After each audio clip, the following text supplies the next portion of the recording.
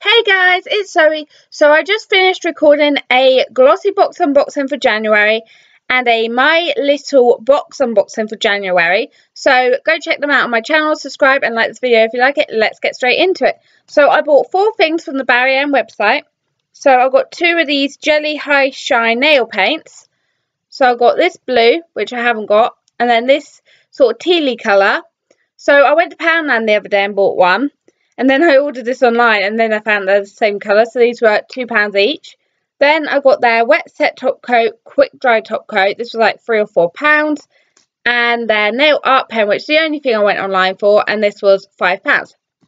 Okay, so if you like nail videos like this, then subscribe to my channel for more awesome videos like this. I will be doing a spray nail polish demo and review soon. And I'm also going to be doing a dip nails demo and review soon as well and I will also be doing other nail polish tutorials in the near future.